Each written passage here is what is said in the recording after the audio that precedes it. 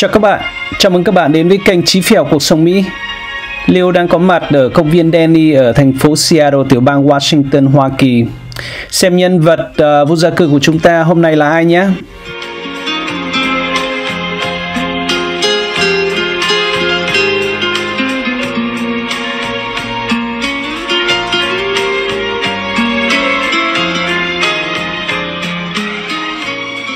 Dạ chào anh, em tên là Liêu, thế còn anh?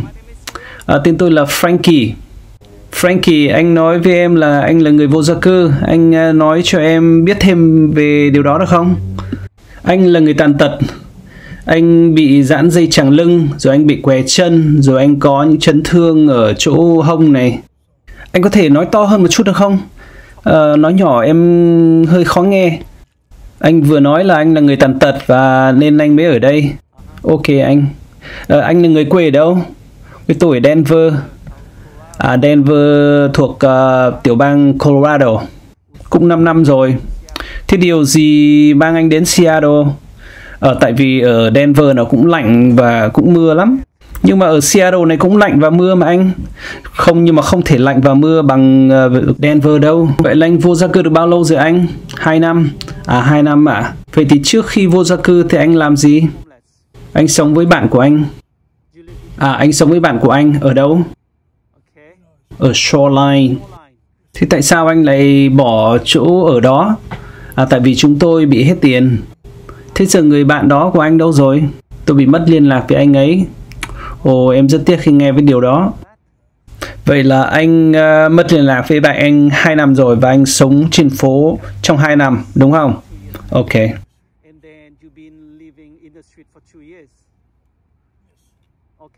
Vậy đã anh đã làm gì trong thời gian trước khi vô gia cư? Tôi là người tàn tật và tôi cũng nhận được uh, hỗ trợ dành cho người tàn tật. Trước đó thì anh có nhà để ở không? Ờ, có, nhưng mà cũng uh, bị đuổi ra ngoài. Liệu lúc đó luật pháp có thể bảo vệ anh khỏi bị đuổi ra khỏi cái tòa nhà đó không? Liêu không hiểu được cái đoạn này. Xin lỗi các bạn. Các bạn thông cảm.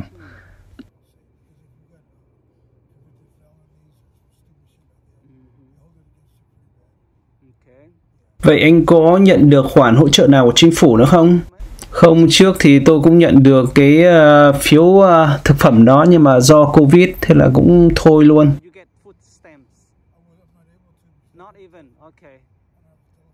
Nhưng anh đã từng nhận được các khoản hỗ trợ nào của chính phủ chưa?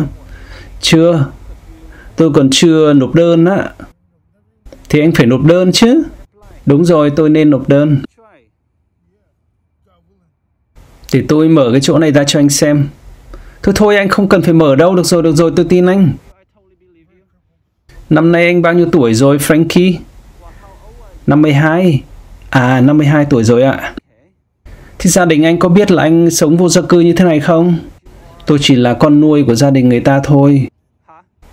Nhưng dù gì thì anh vẫn được coi là con nuôi chứ. Thế họ vẫn đang sống ở Denver hay sao anh? À đúng rồi, Thế anh có nhớ Denver và nhớ cuộc sống ở đó không? Cũng có nhưng mà chút ít thôi. Thế anh có anh chị em gì không Frankie? Không. Ờ, thế còn anh chị em ờ, ở gia đình nuôi đó? Thì cũng không luôn. Tôi là con một.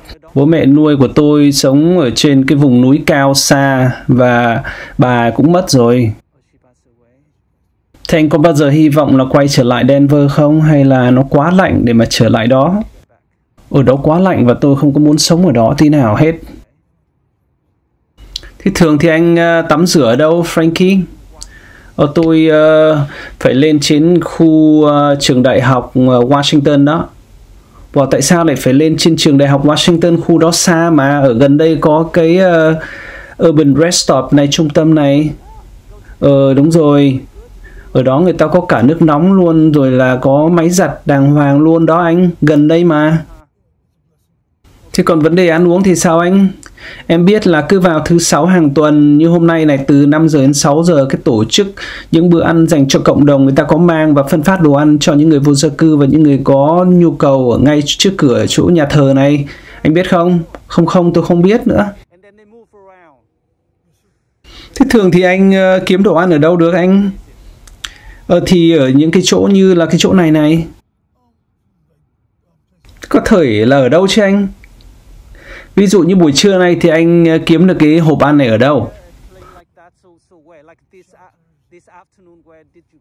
À người ta mang đến tận đây, người ta để đây này. Tôi đi lại chuyển động rất là khó khăn, nên tôi rất là bực mình đó.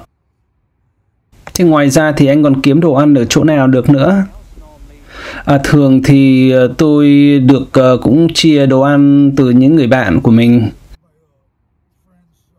và anh cũng kiếm đồ ăn từ những cái tổ chức khác nữa đúng không? Ví dụ như tổ chức như bữa ăn dành cho cộng đồng người ta đến đây ngày hôm nay từ 5 giờ đến 6 giờ chiều cứ vào thứ sáu thế còn cứ vào thứ hai thì họ lại ra cái à, công viên nhỏ nhỏ cuối chợ Pike ở trung tâm thành phố á hôm nay là hôm nay là thứ sáu. Thứ sáu thì họ qua đây. Đây cũng là lý do mà em qua đây để hy vọng là để quay phim được cái bữa ăn mà người ta phân phát cho những người vô gia cư và hy vọng là cũng gặp được một số người vô gia cư để mà nói chuyện với họ. Anh là người thứ ba mà em nói chuyện đó. Frankie thế còn lều của anh thì nằm ở đâu tôi chẳng có lều tôi đã từng có một cái và rồi tôi cứ đi đi lại lại và khi mà quay lại thì người ta lấy mất cái lều đó của tôi ôi trời ơi tại sao người ta lại có thể làm như vậy được chứ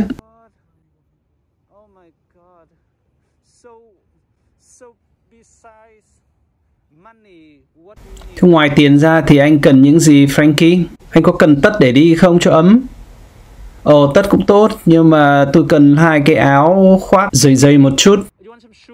Thế anh có cần giày không? À, tôi có giày đây. Em cũng có một đôi giày đó. Thế giày cỡ bao nhiêu? Dạ, số 10 anh. Ồ, số 10 thì ok. Được rồi em sẽ tặng anh một đôi giày là kiểu giày da nó dày mà, mà nó ấm hơn cái đôi này chứ đôi này đôi giày thể thao mỏng trong cái thời tiết lạnh ướt như thế này thì làm sao được ok được rồi Frankie nếu bây giờ anh có ba điều ước thì anh ước những điều gì uh, thứ nhất là gặp lại gia đình tôi. Thứ hai là được tự do được như là phóng thích đó. Không phải lo nghĩ gì. Và thứ ba là có cuộc sống lành mạnh. Anh nói là mong ước của anh được gặp lại gia đình. À, ý anh nói là gia đình nuôi hay là gia đình uh, mà sinh ra anh? Gia đình mà sinh ra tôi đó. Anh nói là được tự do. Uh, thì anh đang được tự do đây thầy.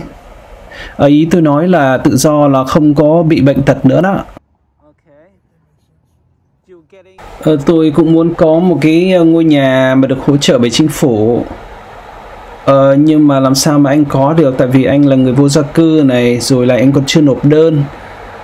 Ờ, tôi cũng muốn nhưng mà tôi không có điện thoại.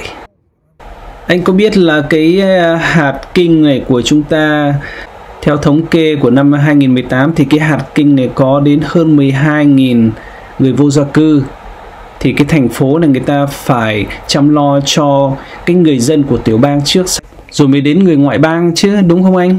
Đúng rồi, tôi không phải là người ờ, thuộc tiểu bang này. Hàng đêm anh ngủ luôn chỗ này hay sao? Chỗ này quá lạnh luôn. À, tôi ngủ bất cứ chỗ nào mà tôi có thể. Chứ anh có thể vào những cái khu ở trong kia gần các tòa nhà thì nó ấm hơn. Không không được, người ta cũng đuổi đó.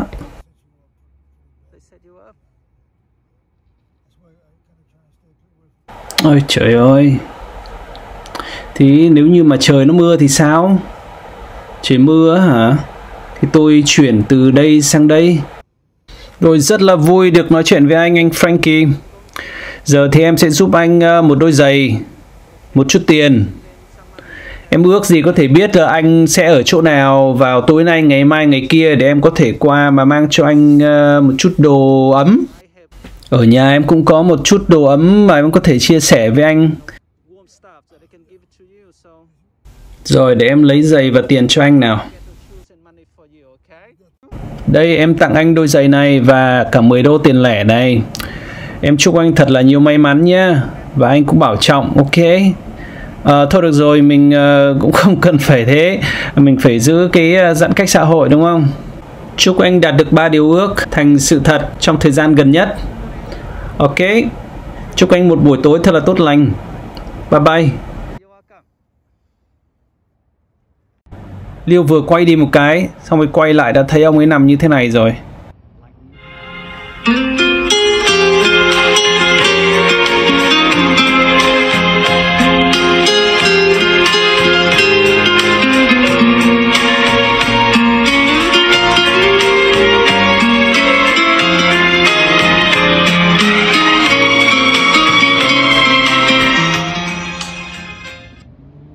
Là thật tội cho những cái người vô gia cư một cái sống trong công viên rồi sống trên phố như thế này các bạn. À, cái Seattle là nổi tiếng về cũng lạnh và mưa ướt à, nhất là vào cái mùa thu như thế này. À, hôm nay lạnh là xuống dưới 10 độ đó. À, mà Leo bây giờ là chưa đến tầm ba rưỡi chiều thôi mà đã cảm thấy như là mình cần phải đội mũ vào.